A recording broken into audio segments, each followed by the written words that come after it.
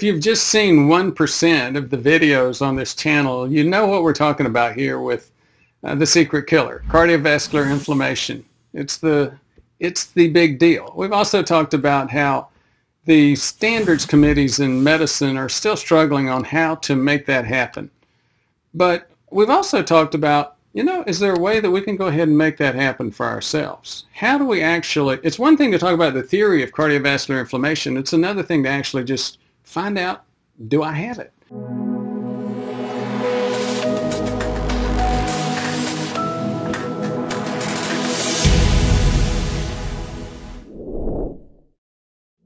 This is my test, one of the routine tests that I've had.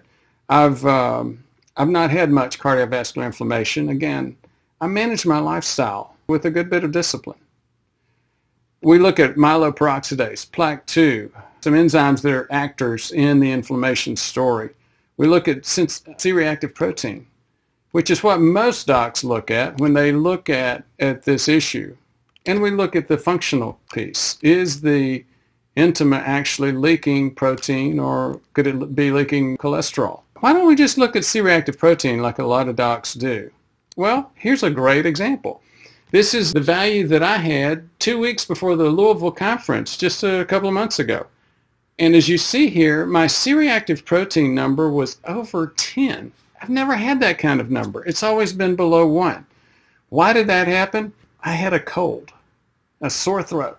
It was a bad one, but yes, I had a sore throat. Now, could that really do that? Of course it can. In fact, we know this. It's been known for a long time that C-reactive protein especially can, re can react to cold even a flu shot. There's tons of studies that have been done looking at elevation of C-reactive protein after just a protein after just a, um, a flu shot. In some studies, two-thirds of people had elevation just two days later after a flu shot. And guess what? Cholesterol values can go up some too. So it's not a simple, easy picture. So this can sometimes be challenging and get into some technical issues first of all, it's not just what is cardiovascular inflammation. Can we test it for ourselves? How do we interpret it? CHL, Cleveland Heart Labs, and Quest just doesn't offer it uh, direct to consumer anymore. We're helping. We're getting inflammation testing, OGTT, insulin survey, and small group interpretations all in the webinar. So the, the webinar has a lot of value, and it's not inherent in the name. You don't think about uh, just using the term the webinar doesn't imply the, the testing that goes along with it. So again, don't guess, test. If you have prediabetes, you're very likely to be going through cycles of inflammation, burning up that glycocalyx. So how do you know without getting the screening test? Again, give us a call. We can help. Or just go click on the button on our website that says uh, webinar.